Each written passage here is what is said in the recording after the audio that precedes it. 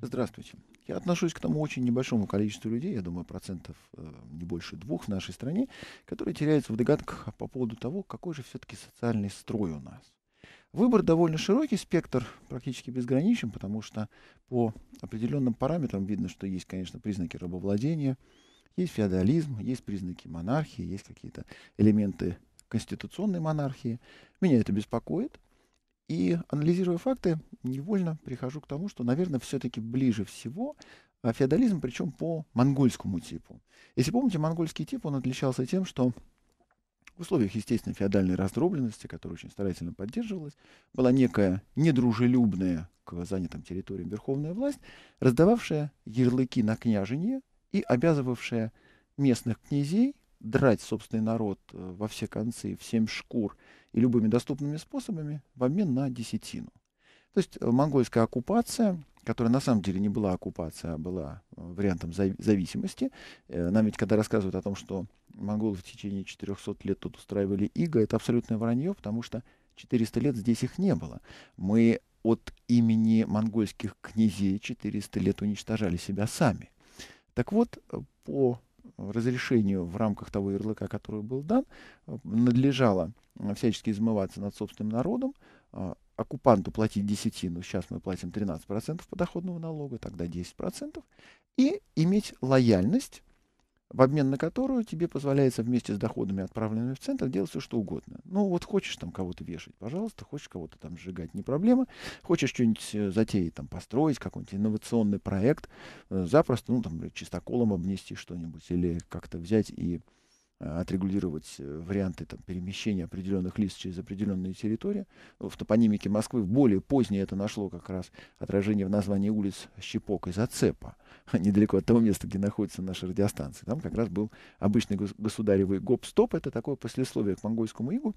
Послесловий действительно много, и когда мы говорим о том, что на 400 лет наша страна затормозила в своем развитии из-за монгольского ига, то мы не до конца не правы, потому что мы действительно 400 лет а, занимались чем угодно, самоуничтожением в том числе, но, конечно же, не инновационным развитием.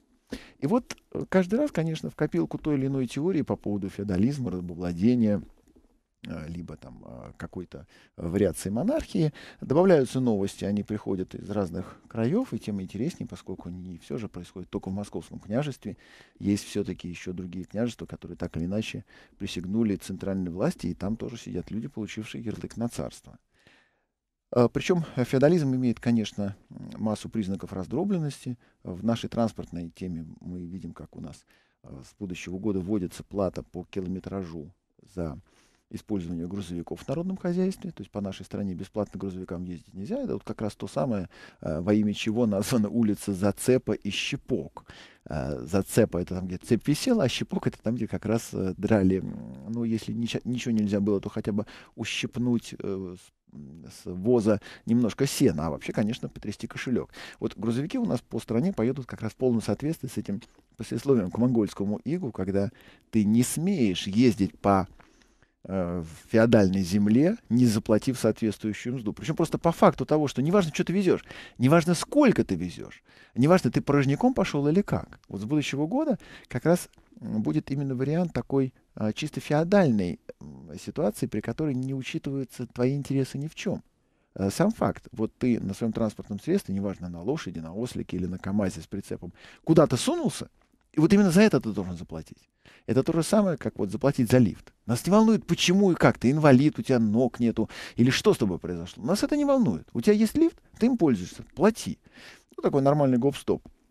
И вот опять-таки в рамках именно а, чисто феодального подхода к решению каких бы то ни было проблем, в том числе и в транспорте, мы видим, как мелкая козявочка, такая просто совсем никто на ровном месте под названием таможня, то есть такой орган исполнительной власти, вот такая вот кучка дымящаяся, она останавливает на территории всего княжества, вот всей совокупности княжеств, действия международного договора о транспортных грузоперевозках, который мы знаем под аббревиатурой ТИР. Таможня Тировское соглашение, которое существует больше 30 лет, аннулировало в одностороннем порядке. То есть вышел такой вот э, местный чиновник с ярлыком и сказал, а я вот именем э, князя великого нашего, вас, супостата всех, в гробу видал. Поэтому вот теперь меня не волнует, кто, когда, что подписывал. Вот я сказал, вот так и будет. И оно так и стало. И несмотря на забастовки дальнобойщиков, конечно, обладатель ярлыка на таможне слегка поперхнулся, сказал, ну, ладно, еще подумаем, может, что тут... Ну, посмотрим, в общем. Но я свои слова-то, знаете, как у папа сдачи не бывает, я свои слова назад не беру. А тут совершенно потрясающие э, новости. Их вывесили на сайте администрации Краснодарского края. Краснодарский край — это тот самый, где Ткачев, это где любая станица обязательно Кущевская, там, где за соучастие в убийстве дают штраф. 12 человек у тебя на глазах, и ты принимаешь в этом определенное участие, и суд считает, что ну, подумаешь, ну, убили, ну, ты рядышком постоял, ну, там, не воспрепятствовал, да, собственно, не должен был, э, ну, да, наверное, бандит, ну, ну, а штрафы нормально. Я думаю, что Краснодарский край как раз станет первым в нашей стране, кто за убийство будет штрафовать. Ну, к этому идет и федеральная власть. Но в Краснодарском краю, то, что собирательно называется Кубань, там а, настолько Ткачев лоялен и до такой степени у него шикарный ярлык, что кроме основных атрибутов автономной власти, армия, суд, полиция, тюрьмы, как вы помните по учебнику истории, он имеет а, высший знак доблести, который даруется вместе с ярлыком уже совсем персонально. Он имеет собственное личное законодательство Краснодарского края. Оно не имеет отношения к законодательству Российской Федерации. Поэтому в Краснодарском крае, то есть на Кубани, там своя конституция, абсолютно автономная, там свой административный кодекс и там свой уголовный кодекс. И на сайте администрати... администрации Краснодарского края об этом радостно сказано, что э, в рамках вот э, персональных личных законов э, местного феодала они могут себе позволить все что угодно, и незаконное предпринимательство у них, в частности, в России-то это 171 статья УК, а у них это административка. И в городе Сочи, которое полностью отделено, в принципе, из-под юрисдикции Российской Федерации, не имеет отношения по, особенно Конституции, к всей остальной стране, а, там волею э, губернатора, он же местный феодал, начали конфисковывать автомобили за частный извоз. Именно по обвинению в незаконном предпринимательстве. Летом они начали борьбу с местными частниками, отобрали у людей машины, составили административный протокол, дело передали мировому судье, мировой суд установил вину водителя, он занимался незаконным предпринимательством, в связи с чем у него там санкции до 300 тысяч рублей, но это на всей оставшейся а, территории Российской Федерации. А в феодальном краю Кубани там штрафчик 2500 и конфискация автомобиля. Это фантастическое решение. Причем на сайте администрации Краснодарского края своими глазами прочитал. Написано, автомобиль безвозмездно обращен в федеральную собственность. Его просто отобрали. То есть вот было и не стало. Причем это не мера обеспечения, это мера такого а, чисто феодального возмездия. Могли плетками, а, могли батагами, а, могли багинетами, могли на дыбу, а мы решили отобрать. Все. Причем, а, естественно, человек попытался это обжаловать, но хм, у феодала суд, ха-ха три раза.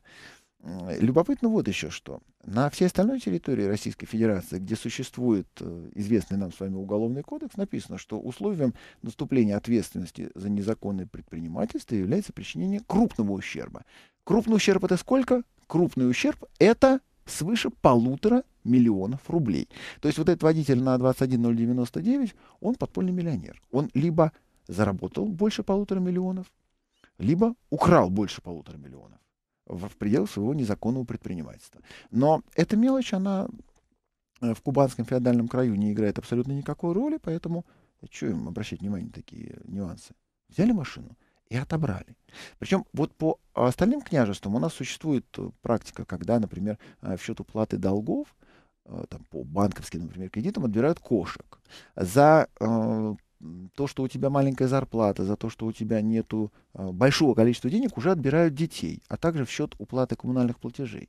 У нас защитник э, водителей и правдоруб э, Тащил Соков э, как раз был среди тех, кто инициировал поправки к Уголовному кодексу, позволяющие отбирать квартиры, э, не отбирать, а штраф, э, сажать владельца квартиры на 4 года. Вот представь, представьте себе ситуацию, приходит полиция подбрасывает наркотики, два пакетика, один мужу, другой жене, мужу, э, мужа дают за употребление, а жену, например, как собственника квартиры, 4 года тюрьмы за то, что он организовал наркопритон. Ну, вы понимаете, гос- уровень государственного мышления этого ответственного лица, если он считает это необходимым сделать. Но вот так, чтобы машину отбирать, подобного еще не было. И о, столь расширенная трактовка административного кодекса на Кубани — это прецедент. А, Кстати, в Кубанском княжестве на очереди еще 165 дел по конфискации транспортных средств, э, что абсолютно незаконно. И рано или поздно придет к нам в Москву и будет распространено по другим княжествам, потому что все, что нормально обкатано на какой-то одной маленькой территории, рано или поздно выплескивается. Вот как, например, с московскими парковками, когда придумали взимать деньги вот, вот просто так. Вот тот же самый гоп-стоп, который, например, там Росавтодор с, платной, с платным проездом грузовиков придумал по всей стране, или то же самое, что на Кубани. Вот именно из Москвы вот эта зараза поползла, и поскольку москвичи по сию пору не дали адекватного ответа, и там, может быть, будет какой-то бессмысленный, бесполезный референдум, то теперь уже платные парковки разрешены в Питере и и в Краснодарском крае. Вот он, видите, ярлык на княженье. Пожалован во всем объеме. Не только автономное законодательство, не только собственная конституция, собственный уголовный кодекс, собственный административный кодекс с фантастическим по широте охватом разных правонарушений, но еще и в том числе взимание, наконец, э, платы. Ну, просто за за что захочется, вот за то и взимание платы. Так, нашлось в физкультурном порыве, продолжает упрямое движение, у него 7 баллов, Mail.ru стоит 9 баллов, причем э, третье транспортное кольцо, вот оно уже практически замкнулось. 65, 10, 9, 9 и 6. Владимир, здравствуйте. Добрый вечер, Сергей. Здравствуйте, Владимир. Постоянный слушатель. Это хорошо. Странно, что не надоело вам это все. Нет, я еще, помните, консультировался у вас, что дочке лучше брать Opel или Citroёn 4. И что она сделала после этого? В следующем году будем брать Opel Astra 1.6. Замечательная дочка, как же ей повезло с папой. Нет, ну я имею в виду, я чуть-чуть помогу, она будет сама брать. Э, Просто она пришла к мнению, что Opel, вот последний седан, для нее оптимально. К тому же он еще и красивый. Да, и двое детишек, у две внучки, они будут, все будет нормально. Ну, если что, есть еще папа, в конце концов. Но если будет что-то не так, нормально. Папа, папа, да. Но я вам сейчас вот расскажу буквально в двух минутах. Это вот по поводу стоянок. Это вашу копилочку просто сказка. Давайте сказку. Вот они живут, значит, ну, переделки, ну, да, вот две башни, да, где-то квартир по 200. Есть как бы въезд, выезд, ну, и, и тот, и другой въезд и выезд, да. И, значит, в общей сложности, ну, грубо 500 квартир. И они, а, и рядом стоят школа, детский сад, и вот эти вот привозят и утром, и вечером, когда вот забирают, то есть те даже, кто ставит машины, они просто не выехать, ну, вы понимаете. Да, нормально, как везде. Да, ну, половина где-то ставят в гаражи, кто может, а в общей сложности машин, ну, 150, 200, нет, 200 нет, ну, 150 набирается. Без крыши над головой живут сами по себе, сбились в стаю. Да. И они, чтобы вот как бы с теми, кто привозит детей и прочее, прочее, вот не ругаться, ничего, обратились в управу и, говорят, за свои деньги поставим как бы два шлагбаума, въезд и выезд. В одной башне там аптека, в другой там пятерочка, по-моему. Для них тоже сделаем карточки, и зато будет порядок, кто живет в этих домах, заезжает, ставит. Есть места, нет, значит, ставишь на дороге где-то там. Ну, все, по-моему, очень логично. Абсолютно логично. Прям совсем замечательно. Да, Крепостную ну, стену сделаем, еще ров выкопаем и током потихонечку там снабдим. Нет, ну просто два шлагбаума. Вот заезжают, ты приехал, есть места поставил. Нет, значит, ставишь где-то там в другом месте. Но заезжают только, будем говорить, свои. Это не ТСЖ, ничего, обычные дома. Мгм. Так, Две башни, но они как бы обособлены. так. И вот когда все э, управа дала все это законный ход, да, делайте ставки, все, вопросов нету. Там посчитали, сколько это нужно. Это было где-то еще в начале года даже где-то. Все уже собрались делать. И вот неделю назад приходит бумага. так. Ребята, вы ставьте, все, мы вам разрешение дали, все. Но с каждой квартиры по 500 рублей. О, правильно. За что-нибудь объяснили за что или просто потому что хочется? А за то, что машины туда будут заезжать и стоять. А, то есть к себе, То есть, как они сейчас квартире, стоят, так да. и... но за 500. Да, в месяц. Замечательно. И, соответственно, сразу из большинства 70% сразу 40 и убежал. То есть теперь уже меньшинство. Уже никому и не надо. Как-то не хочется платить за то, что у тебя есть ботинки, еще 500 рублей в месяц просто за факт обладания ботинками. Да, Сергей, вы понимаете, то есть это просто люди за свои деньги ставят шлагбаум, чтобы было культурно, чтобы там э, и детей спокойно те забирали, которые ставили там свои машины, чтобы люди, которые живут, могли спокойно выехать, въехать, ну все, то есть вопросов нету, все за свои деньги. И теперь за эту землю, за которую сейчас еще ничего не платится, и шлагбаумов теперь уже не будет, и платиться не будет. Угу. Ну, насчет культурно я с вами не соглашусь. Это просто э, жители двух домов пытаются сделать гадости жителям всех остальных домов. Особенно вы же упомянули пятерочку. Нет других, Сергей. Там нет других домов. Вот въезд, две башни, выезд, все. То есть вот эта, эта как бы... пятерочка, она всего лишь на эти два дома построена? А, а, она даже не пятерочка, она копеечка, это магазин такой, знаете, вот как палатка, только по, по внутри. Ну, без разницы. То есть автономных два дома в чистом поле, в которых есть еще и свой магазин, свой детский сад и своя собственная школа. Нет, детский сад, он как бы в метрах ста стоит, но чтобы машины не оставлять, нужно поближе подъехать к школе, к детскому саду. Знаете, а, Они... Владимир, у э, есть такая книжка, называется «Тойота Королла». Ее написал э, один блистательный антисемит Ифраим Севела. Э, Ифраим Севела это тот самый человек, которого ненавидят все евреи за то, что он еврей, а, за, за то, что он в свое время сказал гениальную фразу, что э, все евреи в мире, они как навоз, размазанные тонким слоем по земному шару, они представляют из себя удобрения, а собранные вместе в одной стране представляют из себя большую кучу, сами догадайтесь, чего. Так вот, Ифраим Севелов в романе Toyota Corolla, у него есть такой момент, когда наш человек, советский, оказался в эмиграции вынужденный. И он с американкой, которая, естественно, родилась там, жила, вот они идут по этой стране, постигают эту страну, притираются друг к другу менталитетами и оказываются в какой-то момент на кладбище. У нее там родственник. И наш смотрит на кладбище американское и говорит, а почему у вас тут нет заборов возле могил? А ему американка с изумлением отвечает, а у нас свободная страна. Вот признак нашей страны — это обязательно забор. Обязательно, потому что забор делит на своих и чужих. А признак нормальной страны — это отсутствие забора.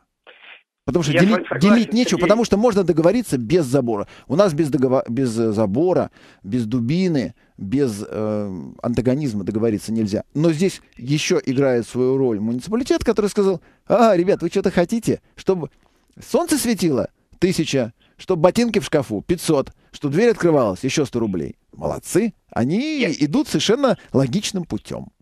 Сергей, здесь именно не отделение, вот этот забор, это шлагбаум, само собой, но э, если к школе подъезжать продукты, своя дорога, к детскому саду подъезжать, своя дорога. То есть э, обслуживание детского сада и школы э, наша, вот, и будем говорить, ну, ихняя, вот эта вокруг территория, она не мешает. То есть по ней туда не заезжают. Замечательно. К нам заезжают всего две машины. Для аптеки и для вот этой копеечки. Ну, две к ним, машины. к ним будет выделен специальный активист с помелом, который каждому не, не, не, как карточки откроет. Им карточки выдаем. Конечно. Этим организациям выдаются карточки. Замечательно. Как вы, правильно все придумали. И главное, ведь упрощается ситуация. И организация тоже будет с удовольствием по этим да, карточкам. Есть... У них сегодня одна машина, завтра другая машина. Поэтому водитель из одной смены должен спокойно передать карточку водителю другой Нет, смены. Мы даем три карточки, четыре на копеечку, пять, десять. И столько же на аптеку, десять, пятнадцать. Правильно. Тоже даем столько. Вы даете 15 на транспортные предприятия, по трем из них ездят, остальные продают в соседний двор. Хорошо, я согласен, интересно. Грамотная Может... система, да? Дело в том, что просто, вот, понимаете, Сергей, вот у меня все-таки 58 в следующем году будет как бы. Ну, вы, вот я вот... Да не как бы, а просто будет, Владимир, в полный рост он будет 58. Но вот я по жизни был все время оптимистом. Все время. Вот Это при Брежневе, при Хрущеве, при, вот, при вообще при всех оптимистом был. А сейчас вот на самом деле я вот так смотрю и ноль. Вообще ноль. Нет оптимизма. Нет, не то, что нет оптимизма, а вот вообще ноль. То есть как бы вот в ближайшие, я не знаю, может быть, лет пять что-то серьезное случится, может быть, я, правда, не знаю, что.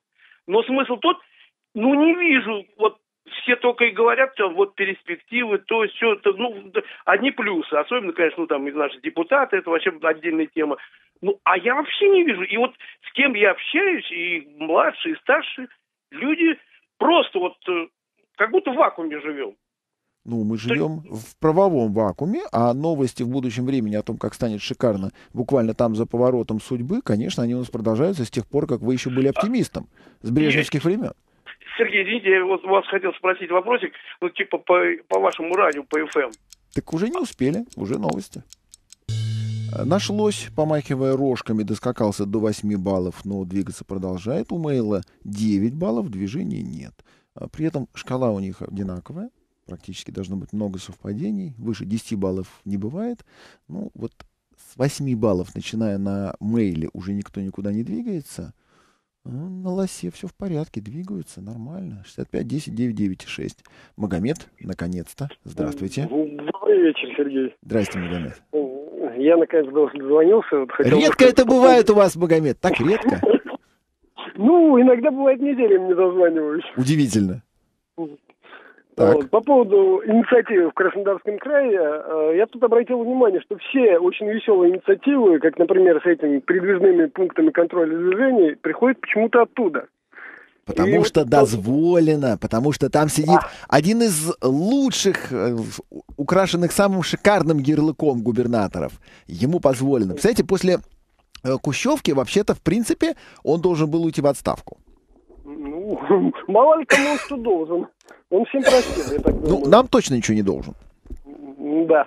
Мы вообще с нашей властью такое ощущение, что только мы им по жизни должны, а они не то, что не должны, да, они даже ничего не обязаны. Как хорошо, что мы должны им только деньги. Больше да. ничего, ничего кроме денег, ничего личного. Хоть за это им большое человеческое спасибо.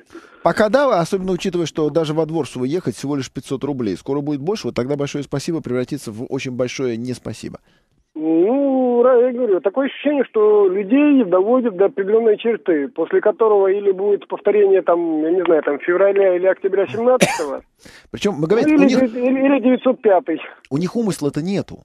Просто позволено. Ну, мы так и делаем. Знаете, как у таракана. У таракана нету желания размножиться. Ну, просто кормовая база совпала. Тепло, прохладно, темно. Можно себе позволить у них не то, что нет умысла, у них такое ощущение, что вообще голова не работает ни в какую сторону. То, что они делают, в принципе, отбирают у людей деньги, можно было делать с умом, при этом делая хоть что-то для людей. А вместо этого получаем, как всегда. Хотели как лучше, получилось как всегда. Да, причем, как показывает практика, если с людьми объясняться, то они довольно часто в состоянии, особенно если они тебе верят, согласиться на да. то, против чего они, в принципе, выступают. Ведь вот когда был кризис 2008 года в Америке, он начался с ипотеки, и люди оказались на улице, потому что были не в состоянии платить за жилье. Тогда что произошло? Произошел социальный взрыв в Америке? Нет. Почему? Потому что ну, американская... Потому что верили американской власти. А что сделала американская власть для тех людей? У нас в прессе этого не было, никто об этом не писал. Что они сделали с теми, кого вышвырнули на улицу? Они им дали стадионы. Они сказали, ну, раз такая беда, мы с вами, значит, ставим палатки. Ой, у меня кашель. Простите. Они э, дали им возможность, так или иначе, хоть как-то перекантоваться. То есть вместо того, чтобы просто послать, сказать, не наши проблемы. Сказали, да, наши. Ну, потому что они относятся как к своим людям. Потому что этим людям они обязаны тем, что они их, как минимум тем, что они их избирают. Вот. А чего не скажешь про, наш, про наших? Ну... Такое ощущение, что, ну, я, конечно, понимаю, что на безрыбье и не за такого рака проголосуешь, но, блин, надо бы хоть иногда отвечать за свои слова. Перед кем? Вот. Ну, перед теми, кто голосовал. А кто голосовал? Вы за... а, а, Магомед? А, против всех, к сожалению, уже нет. А 146% уже есть? Да, 146, да, откуда-то взялись. Да, поэтому перед, вот. перед кем отвечать? Перед вот этими самыми? Они ведь почему на самом деле э, позволяют себе любые абсолютно шаги. Как было очень правильно сказано э, на умной радиостанции, чрезвычайно умной Юлии Латыниной, Путин сосредоточен на внешней политике. Он не занимается внутренней, потому что внутренней нет, а ее действительно нет. Потому что внутренняя политика... Ну, есть там э, какой-то процент, вот там есть какой-то э, паршивый армяшка, кажется, его фамилия Асланян, лысый такой, в очках, сидит на какой-то московской радиостанции. Есть некий Магомед, который приехал из республики, называть которую просто опасно.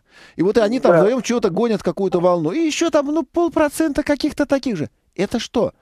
Внутренняя это, политика? мы для них не электорат, мы никто. К сожалению, есть такая тенденция. Да, да, э, да, да. Это, да. Ну, у нас внутренней политикой занимается э, другой гражданин, который тоже некоторое время у нас был президентом, и э, ради него у нас много чего делается. Как минимум упраздняется единственная рабочая судебная система, арбитражная, Ради того, что когда его из правительства попрут, было его куда пристроить. А, да, как вариант, и ради этого происходит уничтожение Конституции и законодательства. Да, да, да, да, да.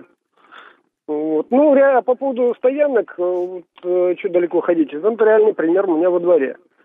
У нас э, был пол пол полнейший катарсис, машину было просто некуда ставить. Хотя огроменный двор, стоял газон абсолютно пустой, заболоченный, Люди дол- недолго думая собрались, пошли в администрацию, пробили, что там сами проследили, сами купили асфальт, все проследили, что сделали стоянки. Асфальт купили сами? Да. Вы всем Дагестаном скинулись, что ли? Нет, всем двором вот э, в Подмосковье. Это стоит... Сколько, сколько стоит э, купить асфальт? Как ни странно, обошлось и гораздо дешевле, чем, э, при строителе, чем у нас э, правительство тратит на строительство дорог. Удивительно. Там, грубо говоря, заасфальтировать стоянку обошлось, ну, как, каждый, кто хотел, скидывались там примерно, ну, по 30 тысяч. В итоге набралось меньше миллиона. А, а какая площадь? Меньше миллиона на какую площадь? По шестиподъездный дом Г-образный. И вот э, заасфальтировали дорожку вокруг дома, заасфальтировали целую стоянку. Ну, там, по-моему, КАМАЗов три. Был только асфальт. А кроме асфальта там была щебенка, песок и так далее. Все делали именно так, как надо делать, а не просто на голую землю асфальт клали. Так, и чем все кончилось? Как-то, как-то а очень... кончилось тем, что, ну, соответственно, каждый, кто скидывался на того, у того свое персональное место, Так. не совсем, конечно, законно, но а что делать? Абсолютно незаконно, А так. для всех остальных там, в принципе, да, больше половины места еще оставалось. Специально это были гостевые места. Вот. А потом кто-то переезжал, кто-то съезжал. А в конечном итоге э, у нас э, полдома народа снимает квартиры, что, в принципе, я сам делал долгое время, ничего против них не имею. Ну, среди них тоже нашлись активисты. Как же так? У вас есть места, которые вы от нас отгородили, и не даете нам ставить. И пошли с жалобами в администрацию. Пока была старая администрация, все было нормально. Потом у нас сменился э, глава города. Какого? И теперь там Что за город? получился, ну, Лобня. Есть такой в Подмосковье город. Какой еще раз? Я не слышу. Лобня. А, Лобня, так. Да, это тот город, из которого не въехать, не выехать, особенно в часы пик. Так Нормально, у нас любой город такой, не въехать, не выехать. Ну, потому что там со, всех- со всех сторон железные дороги или аэроп- аэропорт Шереметьево. Так и как дальше правовая коллизия разворачивалась? А правовая коллизия сменился э, глава города, тут же появились, э, э, тут же сменился э, глава ЖКХ, и всех начали закидывать бумажками, а ну убирайте ваши столбики. Типа это все незаконно. Так, и? Несколько раз приходили э, представители дружественного народа с лопатами, кирками. Эти столбики у кого-то вырвали, у кого-то не осилили. Так. Ну, регулярно ра- раз э, в три месяца вот про- проходят такие вот рейды, акции по, по выдергиванию столь- столбиков. И притом эти рейды, естественно, проходят, когда людей дома нет, когда Да, они на работе.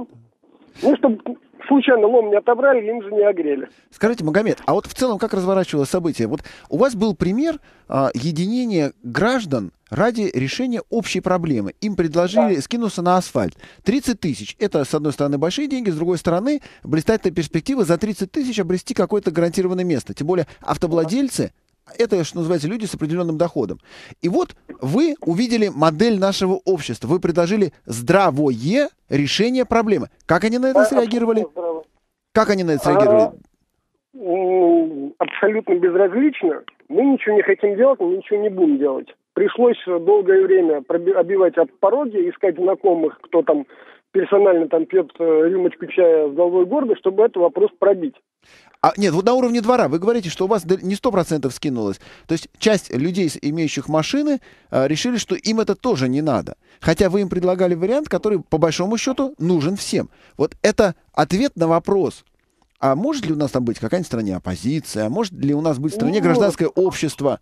Вы предложили им умное решение. Э, Вопрос э, законности в данном случае оставлю. Вы им предложили решение. И И большие, ну, те, кто э, мотивация у всех, кто отказался, была одна и та же. А мне без разницы, что хотите, то и делайте, я куда хочу, туда и буду ставить. Если бы не будет места, поставлю в соседний двор. То есть не было разговора о том, что это незаконно, я за Конституцию? Нет, нет, нет. Был, был как раз вопрос еврейский. Я не согласен, мне жалко денег. Куда хочу, туда и буду ставить. А вы делаете сами, что хотите. Я лучше деньги пропью. Это к разговору о том, что в самом начале вашего звонка вы упомянули э, некую неподотчетность э, тех, кто наверху, перед теми, кто внизу.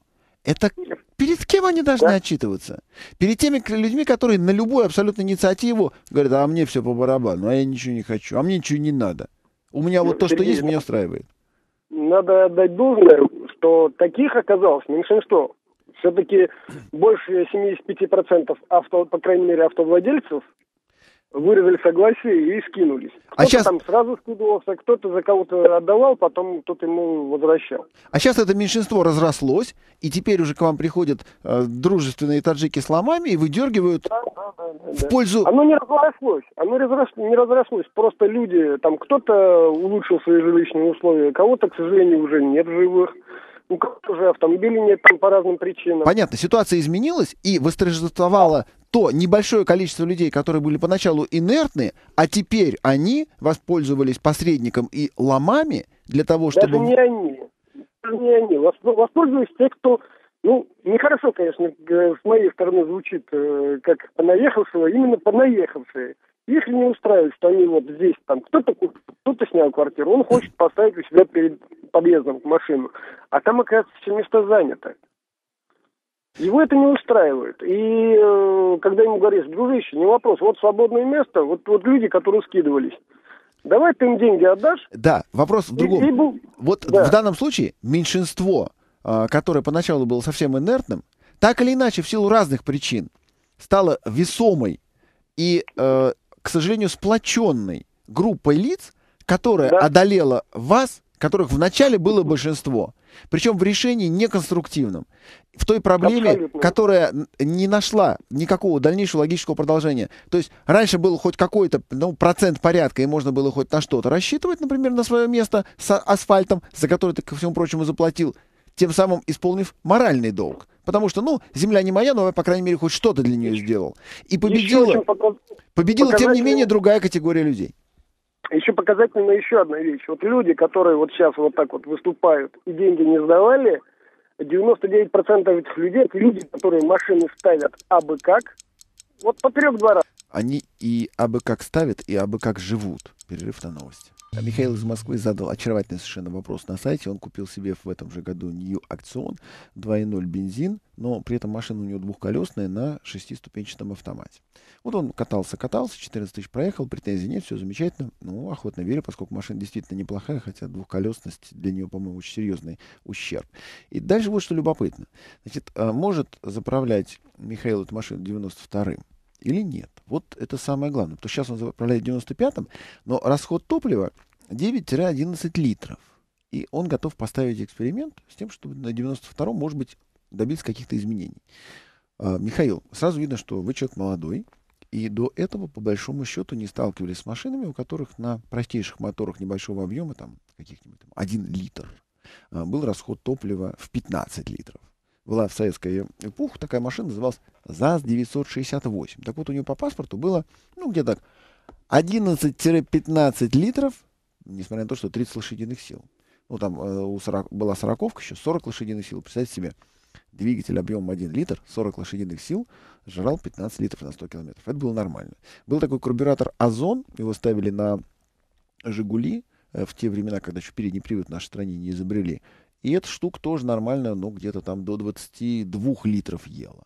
Нива у нас, э, если ее тем более заблокировать, она нормально должна была по паспорту употреблять 25. Ну, можно было, конечно, и чуть больше. Это официальные абсолютно данные. Про грузовики я не говорю, потому что у нас был такой шикарный монстр а, бензиновый Урал.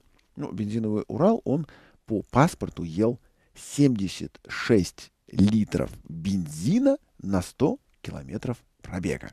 Это была его норма эксплуатационная. А вас очень тревожит то, что 95-го уходит много. Так вот, Михаил, если вы начнете заливать 92-й, расход возрастет. А, ваша машина будет есть 92 э, где-нибудь так, наверное, литра на 2 больше. Дмитрий, здравствуйте. Алло. Добрый вечер, Сергей. Здрасте, Дмитрий, рад вас слышать, вы дождались. Ну, вза- взаимно, но никак не, никак не познакомимся. Я вас столько лет слушаю, а, а вы меня нет. Ну, я даже вас не видел ни разу, это меня совсем тревожит. Взаимно. Ну ничего, это... Не, ну на мою рожу страшное. посмотреть можно. Я так иногда мелькаю, знаете, то где-нибудь в интернете, то еще где-то. Хоть можно понять, как я выгляжу. Когда говорят вот черта лысого, имеют в виду именно меня. Да?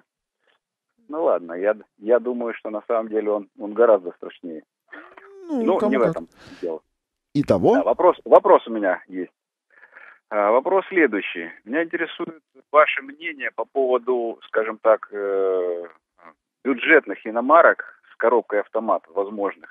Что, что у нас есть именно из новых автомобилей, типа там Nissan Almera, кстати, ваше мнение вот по поводу уже нашей э, сборки, которые, которые, ну, те, которые в продаже машины есть на сегодняшний день. Дмитрий, вы верите в то, что в нашей стране может что-то измениться всерьез, особенно в людях, особенно в люмпинах?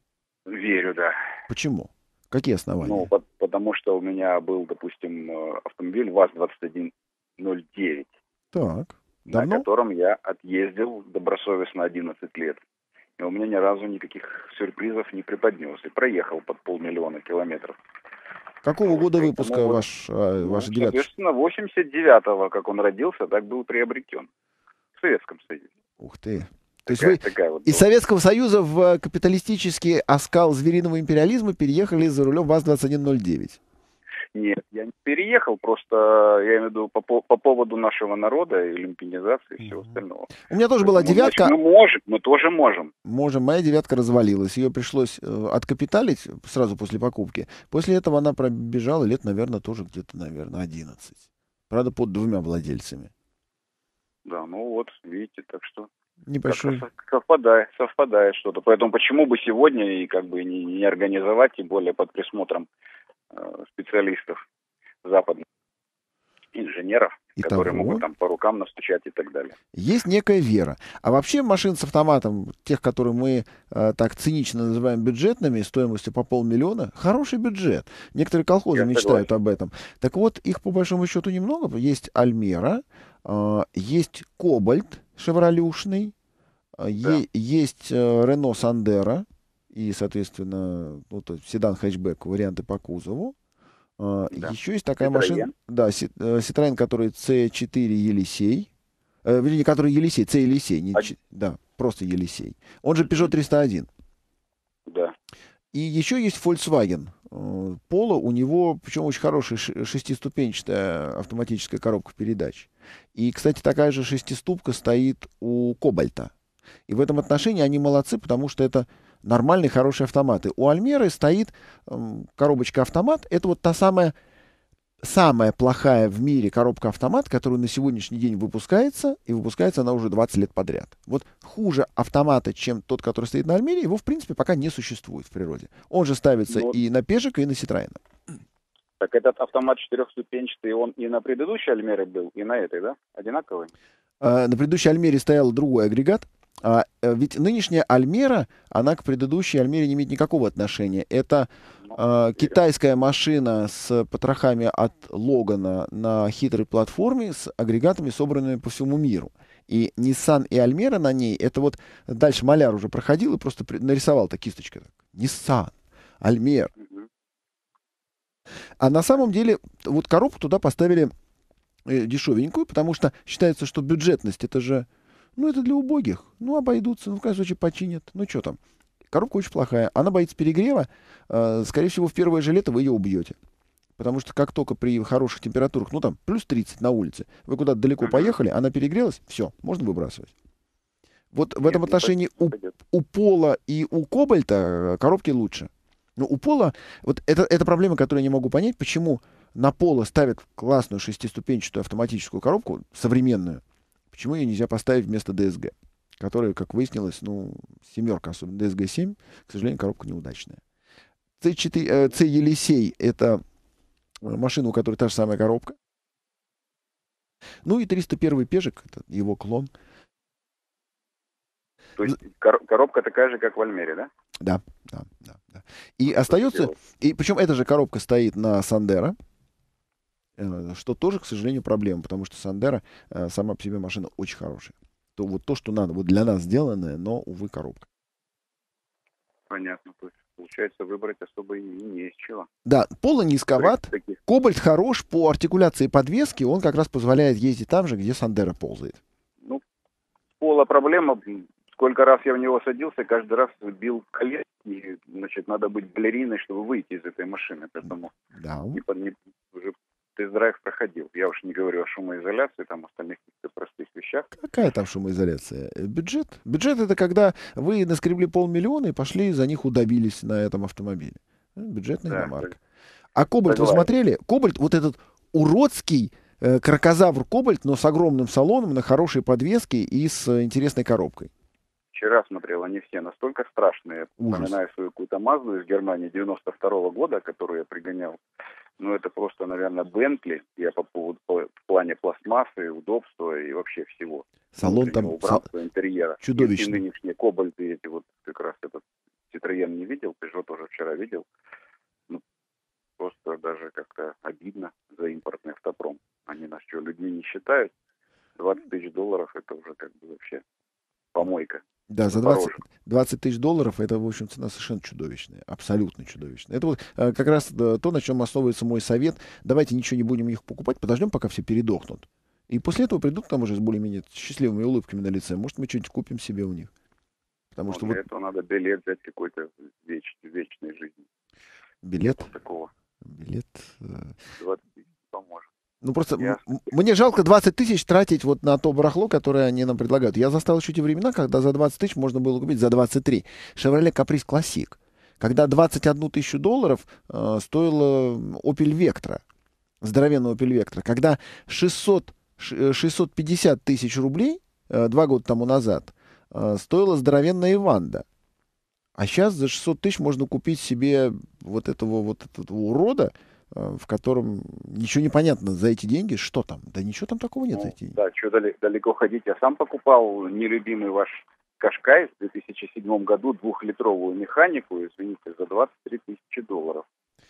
Вот, а сегодня как бы немножко все цифры тоже немножко другие. Ну, 23 тысячи долларов для Кашка это все-таки перебор, на мой взгляд. Я, я согласен, но с учетом того, что я видел, Все, завтра.